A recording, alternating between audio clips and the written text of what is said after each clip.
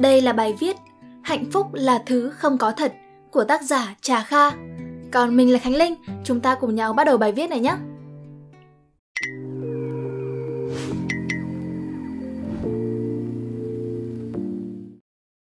Khi thấy mọi người nói nhiều về hạnh phúc, đặc biệt là lúc họ đang dự một cuộc thi nói về hạnh phúc, thì mình nghĩ hay là mình nói gì đó ngược dòng đi. Nhưng chưa chắc ngược dòng đã là hay. Kiểu ta tự hào ta là con chim sợ độ cao, ta là chú cá không biết bơi, vân vân và mây mây. Ngược dòng cũng tốt nếu nó đem lại cái gì đó mới mẻ, khơi gợi một ý thức mới chẳng hạn. Và đồng thời vẫn hướng đến sự thật, đến chân, thiện, mỹ. Cho nên, xác quyết đầu tiên của bài này đó là khẳng định hạnh phúc là thứ không có thật. Đồng thời chúng ta cùng xem thứ gì là có thật. Nếu chúng ta chịu đi sâu vào cái mớ bong bong đấy của thật và không thật, thì thay vì tư duy nhị nguyên, theo đuổi hoặc đừng theo đuổi hạnh phúc, ta hoàn toàn có thể hiểu hạnh phúc hơn. Hiểu để giải ảo bản thân khỏi những niềm tin sai lầm và hiểu để đưa ra sự lựa chọn và vững tâm với sự lựa chọn đó. Phần 1. Lược sử của hạnh phúc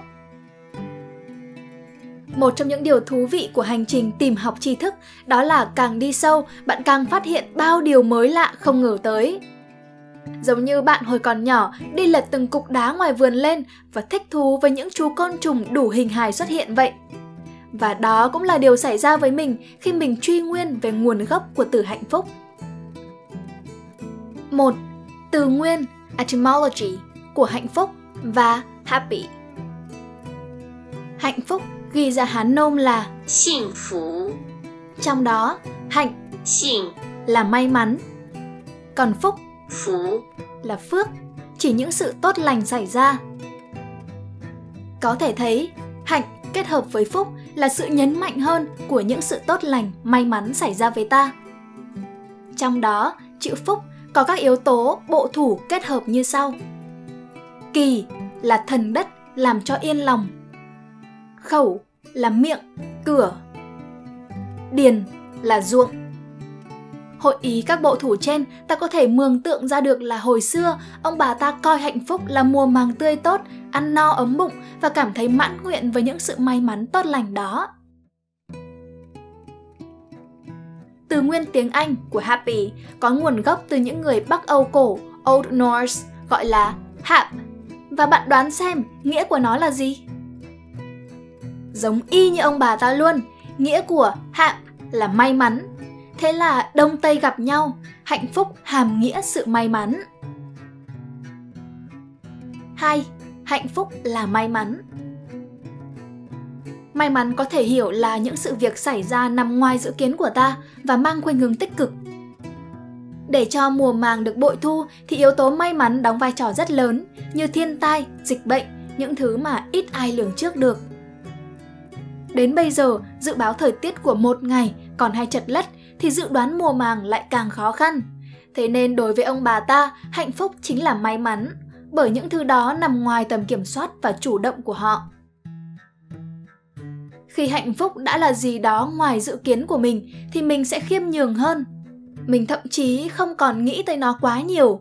Ví dụ như ông bà ta chỉ nghĩ đến mùa lúa chín mỗi năm một lần, còn lại họ cứ lo công việc linh tinh khác hạnh phúc với họ chỉ là những thứ ít khi xảy ra. Có thể là hạnh phúc lớn là mùa gặt và những hạnh phúc nhỏ hàng ngày như là chứng kiến con cái khỏe mạnh vâng lời. Nhưng với ta thế hệ trẻ hôm nay hạnh phúc đã mất đi ý nghĩa ban đầu. Cùng với sự chuyển biến của xã hội thì ngôn ngữ cũng bị thay đổi đi ý nghĩa. 3. Hạnh phúc lý tưởng hóa, idealize hạnh phúc thổ ban sơ mang nghĩa may mắn, mà may mắn thì định nghĩa khá chân phương như là mưa thuận gió hòa, đi săn thuận lợi vì phụ thuộc các yếu tố ngoài vòng kiểm soát của con người. Nhưng sau này, cùng với sự phát triển của văn minh, của khả năng làm chủ thiên nhiên, thì con người dần khái niệm hóa hạnh phúc trở thành một thứ cụ thể hơn, đa dạng phức tạp hơn, nhằm chủ động hơn với những cảm giác thỏa mãn, những sự may mắn của đời sống họ. Và khởi đầu công cuộc này chẳng ai khác chính là những người giống chúng ta ngày nay nhất, cư dân thành Athens cổ.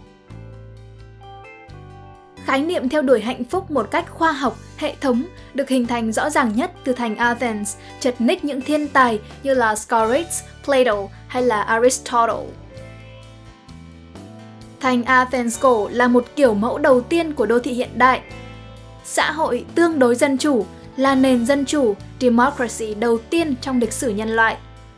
Đón nhận, thu hút nhân tài từ tất cả nền văn hóa ngoại quốc. Là một đô thị nhộn nhịp, chậm giao thương. Mọi công dân cần quan tâm đến chính trị, ai làm ngơ với việc công, public affairs, sẽ bị gọi là idiots, kẻ ngốc. Nên giáo dục khai phóng, nhân bản, nhân văn. Bởi vì họ rất giống chúng ta, cho nên họ cũng có nhiều thành phần rảnh rỗi, suy tư về ý nghĩa cuộc đời, về nguồn gốc của vạn vật. Và giống như đầu bếp có nhiều nguyên liệu thì sẽ dễ sáng tạo ra các món ngon, thì thành Athens cũng vậy, rất nhiều phát minh được tạo nên và trường tồn cho đến ngày nay như là bầu cử, nghị viện, đại học, khoa học, triết học, hợp đồng, thuế má, vân vân. Trong vô vàn những phát minh đó có hàng đông lý thuyết triết học về hạnh phúc từ Democritus, Plato hay là Aristotle đến chủ nghĩa khắc kỷ. Nếu đi sâu vào từng lý thuyết về hạnh phúc thì tốn quá nhiều thời gian. Đại khái điểm chung của việc lý tưởng hóa hạnh phúc đó là chúng ta hoàn toàn có thể theo đuổi hạnh phúc, kiến tạo hạnh phúc, sở hữu hạnh phúc. Những thứ mà trước kia ta chỉ coi là may mắn, không nghĩ tới quá nhiều. Vậy nên, chúng ta cùng đến với phần tiếp theo rằng việc lý tưởng hóa hạnh phúc sẽ tạo nên tác động như thế nào. Phần 2. Hạnh phúc marketing hóa Phần này mình sẽ cho thấy hạnh phúc như cách chúng ta thường hiểu, nó không có thật như thế nào. Nó sinh ra chỉ để phục vụ chủ nghĩa tiêu thụ, chủ nghĩa cá nhân và hàng đống chủ nghĩa khác. Đồng thời so sánh sự khác biệt hạnh phúc lý tưởng hóa của chúng ta với hạnh phúc nguyên bản của ông bà ta. 1. Chất liệu của hạnh phúc Hạnh phúc của ông bà ta lấy thực tế làm chất liệu. Nếu mùa màng tươi tốt thì họ sẽ vui. Hạnh phúc của ta lấy những ảo ảnh, images, làm chất liệu. Ví dụ như một người có cuộc hôn nhân bất hạnh nhưng có thể xây dựng hình ảnh hạnh phúc ảo của gia đình mình trên mạng xã hội và cảm thấy vui khi được người ta ngợi khen, thả like, ghen tị với cái hình ảnh đó của mình. Vì chúng ta lấy ảo ảnh làm chất liệu, thế nên ta hoàn toàn có thể tận dụng điều này để tạo nên một nhu cầu mới, như là quảng cáo hãy ăn để hạnh phúc của các nhãn hàng thức ăn nhanh, cùng với hình ảnh quây quần bên nhau vui vẻ ăn uống. Và khi bạn mập quá thì lại có quảng cáo hãy tập gym để hạnh phúc cùng với những dụng cụ bổ trợ. Và nếu bạn để ý, ông bà ta hay các bộ lạc thổ dân cổ xưa chẳng có nhu cầu ăn uống để hạnh phúc, thể dục tập gym để hạnh phúc. Vì cơ bản là cơ thể, lối sống của họ khỏe mạnh, tự nhiên, tự tại rồi. Chúng ta bị thao túng tâm lý, mắc bẫy vào những thứ vốn dĩ ta chẳng cần. 2. Tần suất, cường độ và sự phức tạp của hạnh phúc. Đối với ông bà ta, vì sự may mắn ít xảy ra trong đời sống họ, nên họ ít khi nghĩ đến hạnh phúc. Đối với chúng ta, vì ta có thể sáng tạo, tái lập thường xuyên hạnh phúc trong tâm trí, nên ta có thể nghĩ đến hạnh phúc cả ngày. Và khi đã tái lập thường xuyên, tâm trí sẽ dễ chán. Khi chán thì nó sẽ muốn tăng liều lượng lên. Và khi đã lên quá cao, cường độ hạnh phúc có thể dẫn tới nghiện. Lấy ví dụ, ta xây dựng hình ảnh người yêu trong tâm trí ta. Đối với nhiều người, có người yêu đẹp là hạnh phúc. Ta sẽ tưởng tượng sắp tới ta đem người yêu đẹp đi sự kiện, khoe với mọi người, hay là ta khoe ảnh người yêu lên mạng và thích thú với hàng trăm like, ta check like cả ngày cũng được. Mà đó chỉ là một tính từ đẹp gắn với người yêu chúng ta đa phần sẽ gắn ghép rất nhiều tính từ khác như là uh, body ngon, nhiều tiền, hiền lành, thông minh, thú vị, có hoài bão, dành nhiều thời gian chăm sóc và lắng nghe người yêu, bố mẹ biết điều, họ hàng ít soi mói, yêu thương động vật có tài lẻ, vân vân. Ở đây, ta chỉ mới nói về người yêu thôi. Ngoài ra ta còn gắn ghép rất nhiều thứ khác liên quan đến hạnh phúc như là công việc, đam mê, ước mơ, tự do, gia đình, bạn bè, tiền bạc, kỹ năng. Cho nên, cả về tần suất, cường độ lẫn sự phức tạp của khái niệm hạnh phúc, ta đều lấn át hoàn toàn ông bà ta. Ta suy nghĩ về hạnh phúc quá nhiều và đó chính là vấn đề. 3. Sự chủ động với hạnh phúc Với ông bà ta, hạnh phúc là may mắn, nên họ ít có sự chủ động với nó. Họ chỉ có thể làm thật tốt phần mình, như cày cấy, tưới nước, chăm sóc thường xuyên và cầu mong cho mưa thuận gió hòa. Nếu sự không may xảy ra thì có thể cho rằng đó là do ông trời, nên cũng ít có sự tự trách bản thân. Với chúng ta, hạnh phúc là do ta kiến tạo, cho nên ta hoàn toàn có thể theo đuổi thành tích học tập tốt hơn, lựa chọn người yêu phù hợp với tiêu chuẩn của bản thân, rèn luyện các kỹ năng để hạnh phúc, vân vân. Vậy, khi chúng ta thất bại về công cuộc theo đuổi hạnh phúc, ta sẽ có xu hướng đổ lỗi cho bản thân, như là ta chê bản thân lười biếng chẳng hạn. Thậm chí chúng ta ngày nay còn thường xuyên so sánh ai hạnh phúc hơn ai. Kết luận phần 2. Về chất liệu, ta lấy ảo làm đối tượng của hạnh phúc. Chính vì là ảo nên ta mới có thể thường xuyên nghĩ tới hạnh phúc trong đầu, tưởng tượng nhiều điều với nó, thậm chí nảy sinh những nhu cầu ta vốn chẳng cần và phải lao động kiếm tiền để thỏa mãn các nhu cầu đó. Và bởi hạnh phúc của chúng ta không có thật, cho nên ta sẽ thường xuyên trong tâm trạng thất vọng mắc kẹt đổ lỗi cho bản thân. Vì làm sao mà ta theo đuổi và sở hữu một thứ không có thật được? Vậy chúng ta có thể làm được gì? Phần 3.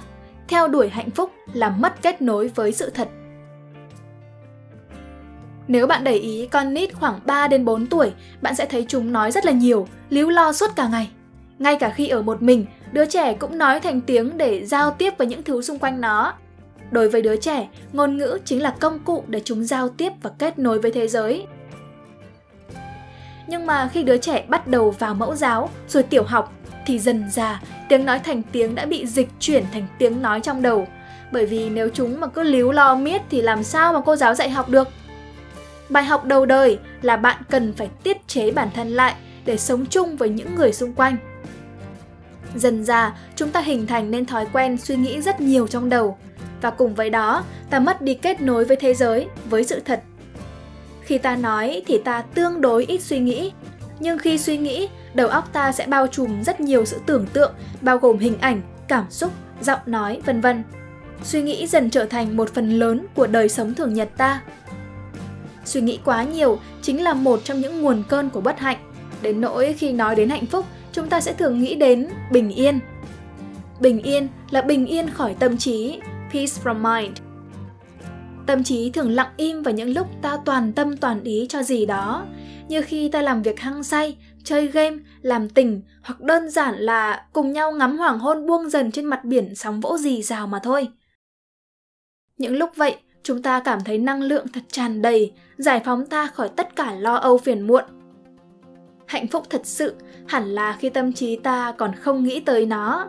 Để làm được điều này, ta không cần phải từ chối hạnh phúc, ta chỉ cần giải thoát ta khỏi tâm trí thôi. Có thể kể đến một số cách như là thiền để tĩnh tâm, tìm về thiên nhiên để kết nối hơn với sự vật nguyên sơ, thứ vốn dĩ đã tồn tại cùng ta từ thuở ban đầu. Đối diện cái ta sợ hãi để thấy sự thật không đáng sợ như mình nghĩ. Hay đơn giản là làm thật tốt một việc nào đó mà ta hứng thú. Và sự hăng say lao động đó sẽ giúp ta nhận ra cảm giác bình yên khỏi tâm trí nó xứng đáng như thế nào. Làm được vậy, hẳn ta sẽ cảm nhận được hạnh phúc giản dị đơn sơ của ông bà ta. Lời kết. Có một điều mãi sau này mình mới nhận ra và ngày càng nhận rõ hơn đó là chúng ta thật khác nhau. Hạnh phúc của chúng ta phức tạp đó là điều không thể bàn cãi. Và bạn sẽ nghe câu cũ mềm rằng hạnh phúc tùy thuộc vào cảm nhận của mỗi người. Đối với ông bà ta hạnh phúc là mưa thuận gió hòa mùa màng tươi tốt nghe rất chân phương và rất thật. Với chúng ta hạnh phúc đã trở nên quá ảo quá phức tạp, thậm chí hạnh phúc ngày nay nhiều lúc còn có biểu hiện trái ngược nhau. Ta cho rằng có danh tiếng là hạnh phúc, đồng thời có danh tiếng lại là bất hạnh, vì ta còn lo giữ hình ảnh, hoặc khi danh tiếng mất đi thì ta sẽ bất hạnh. Thế nên mới có câu, con người có hai cái khổ lớn. Một là không có cái mình muốn, và hai là có cái mình muốn. Vậy, thay vì nói hạnh phúc tùy cảm nhận mỗi người thì ta cần thấy rằng hạnh phúc là thứ không có thật. Chính vì hạnh phúc không có thật nên hạnh phúc do xã hội và người khác định nghĩa, ta hoàn toàn có thể gạt đi tất cả, giải phóng ta khỏi các niềm tin sai lầm đó. và dần dần, từ những nhu cầu, mong muốn rất riêng tư của ta ta có thể sáng tạo và kiến tạo nên một thứ hạnh phúc cho riêng ta. Ví dụ như hạnh phúc của việc ta say sưa viết một bài viết hay ngồi cạnh người ta thương yêu, điều vốn không thể so sánh hay định nghĩa được. Cuối cùng, ta cần dần quên đi khái niệm hạnh phúc mà nhờ đó niềm hạnh phúc bản nguyên sẽ tìm đến với ta trên bước chân đơn sơ đầy chiều mến không hẹn trước Hy vọng rằng các bạn sẽ thích video lần này. Đừng quên ấn like và ấn subscribe để ủng hộ chúng mình nhé. Và nếu các bạn cũng thích những nội dung như trên, hãy đăng nhập vào website của nhà nhện là spiderroom.com để tìm đọc thêm nhé. Và mình là Khánh Linh. Bye!